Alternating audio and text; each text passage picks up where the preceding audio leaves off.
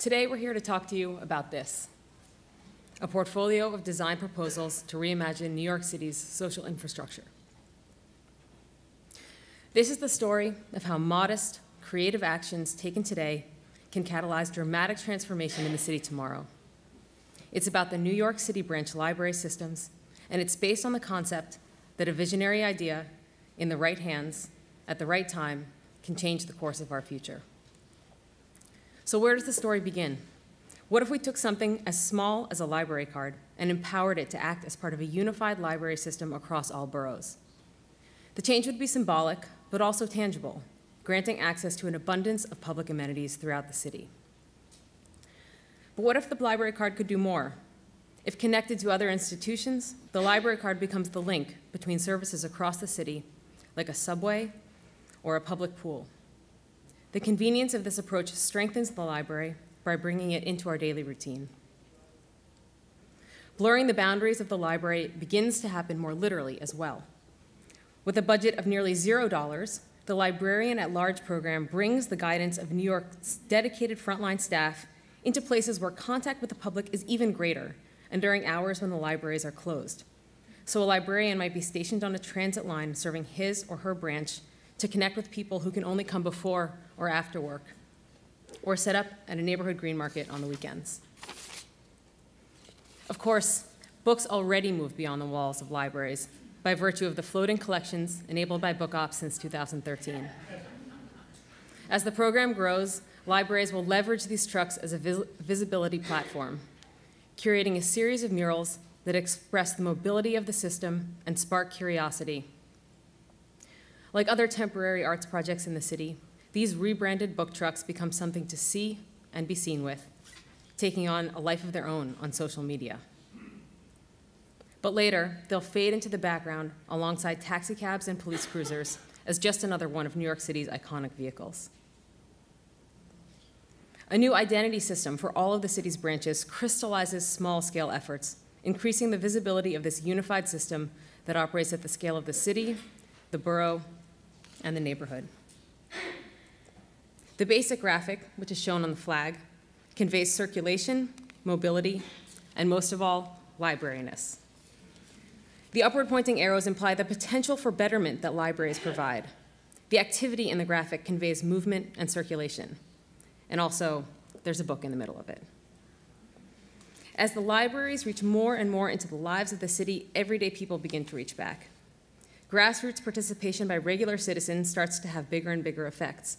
Not just more people using the libraries, but the libraries begin to be shaped and improved by their users. In places like Rego Park, a self-organizing group of volunteers would step forward to chip in with minor maintenance tasks on weekends. In this case, bricks are mended and seating repaired within days of the need being discovered. But it's not just the physical plant that benefits from outside attention. The library's information systems are also ripe for reconsideration. Groups like Code for America begin organizing fellowships and hackathons that bring hundreds of people together to create a new online interface for the library.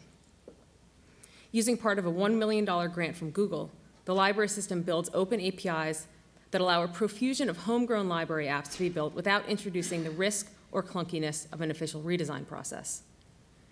This experimentation leads to a stronger and easier to use main website. MYPL allows users to discover not just artifacts, but networks. By simply and clearly linking resources across the city, this interface starts to become an important channel where citizens learn about the happenings of their neighborhoods through library workstations, home computers, and mobile devices, but also buildings, bus stops, and streets. Then something interesting starts to happen. Cultural institutions begin to transform their own programs to engage the expanding library audience. And with these institutions comes their funding. In other words, the small investments the library made in enhancing its own visibility helped unlock larger pools of capital. Think of this as institutional leverage. For example, museums like MoMA begin to redirect their energy and resources, selecting the more socially and politically relevant site of a library roof structure as the focus of their annual Young Architects program that draws the attention of the best and brightest young designers in the country. With this new social focus for the program, MoMA and the library system together are further able to leverage private capital from companies eager to donate their building materials and construction time to be part of a high profile project. After seeing MoMA de-risk the idea of pairing maintenance needs with innovative architecture, the city moves forward to launch a comprehensive radical maintenance program to address the library system's $800 million in state of good repair needs. Radical maintenance represents a bold change in the way spending on libraries happens, leveraging required repair costs to meaningfully transform the image and the experience of library buildings. The program begins with a focus on the so-called Lindsay boxes, designed and built in the late 1960s and early 1970s. These are typically small, single-story structures which were built quickly as part of an ambitious campaign to expand the branch system throughout the outer boroughs. What was sacrificed in grandeur was made up for in number. There are over 65 of these modest structures across the city, and they expanded the reach of the library system to neighborhoods in need. These outdated buildings are in need of major infrastructural repairs with massive capital needs, which are essential in order to keep the doors open, yet invisible, and therefore fraught as the center point of a capital campaign. Branches are evaluated for inclusion in the radical maintenance program based on the scope of required upgrades. Those with the highest need are selected first. A catalog of simple interventions provides enough variety to meet diverse needs. All of these approaches fix invisible maintenance issues by using highly visible repair solutions. This addresses functional issues while enhancing the library's presence in its local community. So, for example, a library like Hillcrest in Queens, which has $1.4 million in state of good repair needs, including a new roof, all new mechanical systems, and comprehensive electrical upgrade, would already require considerable demolition of the ceiling, roof structure, and intervention in existing exterior walls. Through the Radical Maintenance Program, Hillcrest is transformed to welcome the street and offer an iconic silhouette to the neighborhood but also transform the use and organization of the building by bringing daylight into an otherwise deep and dark space. Strategic insertions like these help the library get the most out of expenditures that are currently only used to maintain the status quo, moving from budget allocations that merely seal the roof to considered investments that make the roof an embodied symbol of what libraries offer. For example, at the McGoldrick branch, the roof becomes an occupiable public space for community gatherings or at the St. Albans branch, also in Queens, more light is brought deeper into the space by adding clerestory windows behind a decorative screen. Or at the McKinley Park branch on 68th Street in Brooklyn, a blocky, impenetrable building is opened up to the street with a new facade. Or in East Flushing, a completely blank wall becomes an opportunity to create a strong connection to the street, showing what's happening inside. The Radical Maintenance Program is not only about restoring buildings to a state of good repair, but also taking the opportunity to consider forward-thinking resilience. The single-story Red Hook Library is one of many Lindsay boxes that sits in a flood zone. No matter how much repair is done there, rising tides will always be a threat. To address this, the library is elevated, and a new space is created below. Community activities that happen in this public space are captured in the mirrored underside of the building, while the new mirrored roof envir offers environmental benefits and also reflects the sky and extends the library presence beyond even the scale of the city. Radical maintenance projects directly improve physical infrastructure and resiliency, but they also activate their communities by advancing creativity, innovation, and curiosity. The very fact that these projects are happening becomes a chance for the city to change the way it talks to its residents about public works through new construction signs that are informative and engaging. This changes the way people relate to their local branch and provides more opportunities to learn from the process of rebuilding the city's social infrastructure. And that happens in more structured ways too. Local universities get involved in the radical maintenance program by tying library-specific challenges into the curriculum. This works for vocational training as well by using the renovations of branch libraries as workforce development opportunities. The potential scale here is significant.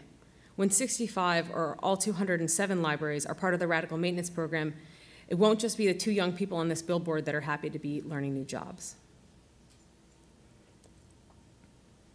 Rebuilding local libraries will inevitably mean periods of closure. And this fact of life becomes a chance to think about the positive effects that could be manifest for a district. When a branch library goes offline for maintenance, critical civic resources and services that must not be interrupted migrate to nearby underutilized properties, including commercial, mixed use, and public assembly spaces in the immediate vicinity. To contend with interruption, the singular edifice of the library temporarily dissolves into a network of smaller spaces with individualized programming. Meanwhile, there's one group of stakeholders that's increasingly absent in the library the affluent. When neighborhood branches enter the maintenance cycle, there's a possibility to turn some of these spaces into revenue generating assets for a limited time. These special events would strengthen recognition from civic leaders and potential donors. Everything we've shown today leads to this. The scale of the library's current needs are politically untenable when seen as pure costs. Union's portfolio has been designed as a series of incremental investments that build upon each other. The library's position as the linchpin of social infrastructure means that dollars spent on libraries translate into benefits across, across a wide variety of outcomes, from education to health to disaster resiliency. Investments in our libraries are not line items.